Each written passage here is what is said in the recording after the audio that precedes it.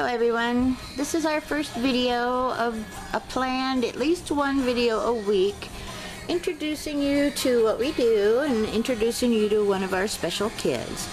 Right now we are taking videos of Mr. Peanut. Mr. Peanut is a very special kid. He was brought to us from San Antonio, Texas via a very wonderful foster family. Uh, Charity and Stefan did a wonderful job and worked with Peanut as though he had IVDD, which is what he came in um, diagnosed with. But as you can see, he's got a little more going on, actually a lot more going on than IVDD. He does work in circles, but he has an extreme wobbleness to him, a little wobbly thing going on, but he's very alert. And despite the uh, shadowing on his face, um, we were very surprised to find out that Mr. Peanut is only two years old. And his paws and his movements, as we were being um, kept informed through our wonderful foster family in Texas, uh, were typical or atypical based on what we knew and, and what they were describing as being a male puppy.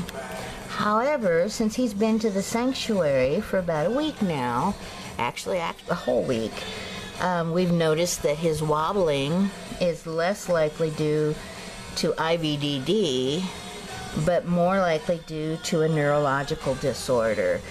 He is currently taking gabapentin, which seems to take the edge off. He's very alert, very curious, but very unable to, whoops, very unable, very, yeah, it's hard for you to get around, huh, Peanut? Bless your little heart. But he is absolutely adorable, a total love bug. He has full bladder and bowel control, and he is able to kind of scoot around. Oh, I know, baby. Shall we get you a blanket? Yeah? You want a blanket? Okay, hang on a second. Oh, now that you're nice and warm, it is a little chilly out here. I'm sorry, baby. Such a good boy. Alright. So as you can see, Mr. Peanut is quite content to just lay on his side sometimes. And uh, right now he's had a bath, and so he's uh, doing what every dog does, is trying to get that wet gone. And uh, he's just as normal as anybody. He's a happy little playful guy. But he's got the wobbles. He definitely got the wobbles. Well, come here, Peanut. you want it over your head? Okay, there's Mr. Peanut the ghost.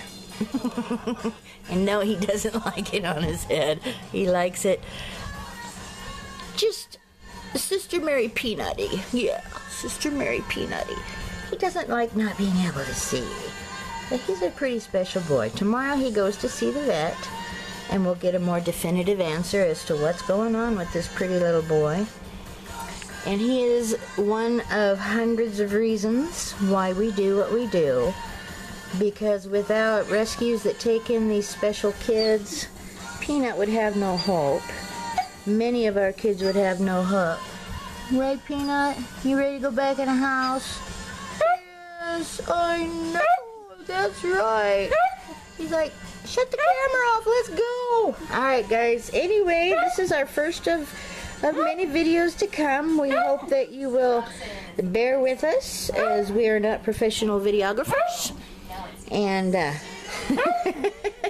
please keep Peanut in your prayers. Bless his little heart. If he has what we think he does, which is the CH, then he will never recover from it. He will not die from it, but it is not curable, and he will be a pillow prince for the rest of his days and happily be here or with a wonderful family that just falls in love and can't live without his little butt.